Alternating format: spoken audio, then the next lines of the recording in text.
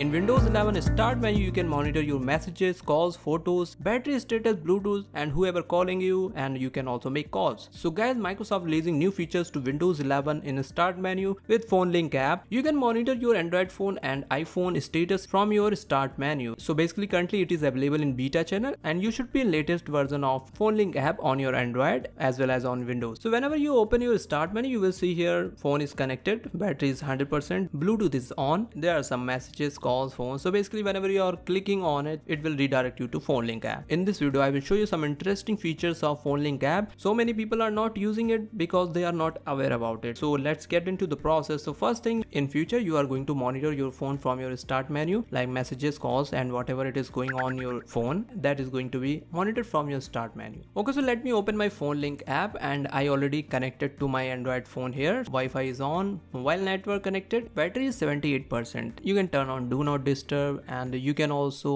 play a sound like you don't know where is your phone you can just uh, turn it on your phone will ring. The first feature you will love it like go into photos. In photos you can extract text from any image. So like uh, i want to extract text from this image. You can see here text just click on it. After that it is going to extract the complete text here. You can copy all text and paste anywhere you want. If you want the complete information from screenshots, you can use this tool. This is another great advantage of this phone link app. Another interesting feature of phone link app, you are gonna love it. You can use your phone as a webcam in your Windows, like iPhone do on macOS. So just go into Windows settings. In Windows settings, you have to go into Bluetooth and devices. Go into mobile devices. Here you will see one setting, allow this PC to access your mobile devices. So just turn it on. After that, it will open this pop-up here, all things settings are enabled here. If it is not enabled just turn it on. Use as a connected camera. Get a new photo notifications so let me take any picture and you will see one notification here. Now i have took one picture. Here you get notification. So this is a picture i took from my camera. Now use your phone as a webcam. What you have to do you can use it in your obs studio and you can use any camera app where you want to use your phone as a webcam. Let me open my camera app here to show you how it works. Open this camera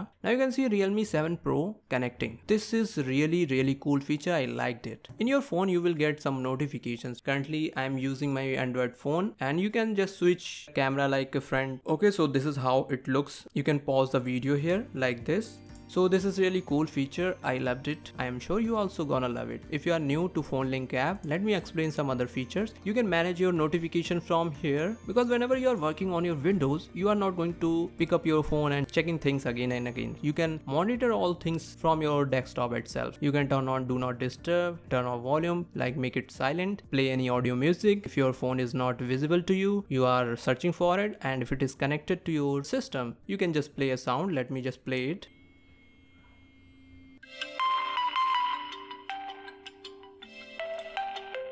So from your phone notification, you can also turn it off. So whenever you are going to connect your phone, you will love it. So you can handle your messages. So for calling, you have to connect your Bluetooth. So from here, you can also make calls, receive calls. You don't need to touch your phone and you can do things easily, right? It will be great if Microsoft give here option like uh, show all the apps which you already installed in your Android phone and you can interact those apps from here. Let me know your thoughts on this. Maybe Microsoft will hear this and they are going to provide you this feature, right?